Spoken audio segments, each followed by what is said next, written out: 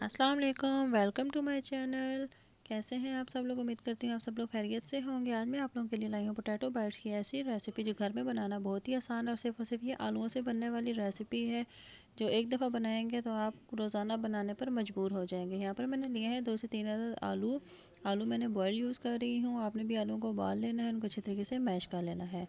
जी, यहाँ पर आलू मैंने बहुत अच्छे तरीके से मैश कर लिए हैं। इनमें बिल्कुल भी कोई गुटली नहीं होनी चाहिए। अब मैं इसमें डाल रही हूँ bread crumbs cornflour mozzarella cheese cheese आप ऑप्शनल भी यूज़ कर सकते हैं, नमक, कुटी लाल मिर्च ऑरिगेनो गार्लिक पाउडर और यहाँ पर मैं डाल रही हूँ इसमें सब्ज़ धनिया। इनको अच्छे तरीके से मिक्स कर लेंगे।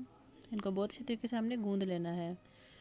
जी यहाँ पर मेरा मिक्सचर बिल्कुल रेडी हो चुका है तो अब मैं इसके बना लूँगी छोटे छोटे से बाइट्स मैं इसको क्यूब शेप में बना रही हूँ, आप लोगों को जो शेप अच्छी लगी आप उस शेप में इसको बना सकते हैं। मुझे ये शेप अच्छी लगी तो मैंने इस शेप में बना लिए इनको मैंने क्यूब की शेप में तैयार कर लिया। अब इन सब ये सब बना के रख लूँगी। यहाँ पर मैंने लिया है कॉर्नफ्लोर इसमें डाल रही हूँ पानी जितना मुझे ज़रूरत होगा।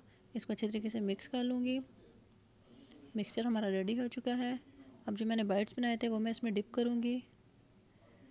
जी तो अब मैं इसको लगा रही हूँ ब्रेड क्रम्स लगा के मैंने सबको एक साइड साइड पर रख लिया है। आप इन्हें एक मंथ के लिए फ्रीज़ भी कर सकते हैं। अब मैंने फ्राई कर लूँगी। बहुत अच्छे तरीके से हमने इसको फ्राई करना जब तक इसका गोल्डन ब्राउन कलर ना आ जाए और ये क्रिस्पी ना हो जाए।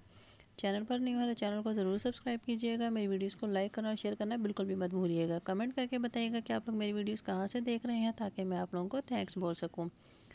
मिलती हूँ फिर अगले नेक्स्ट वीडियो में। तब तक के लिए अल्लाह हाफिज़।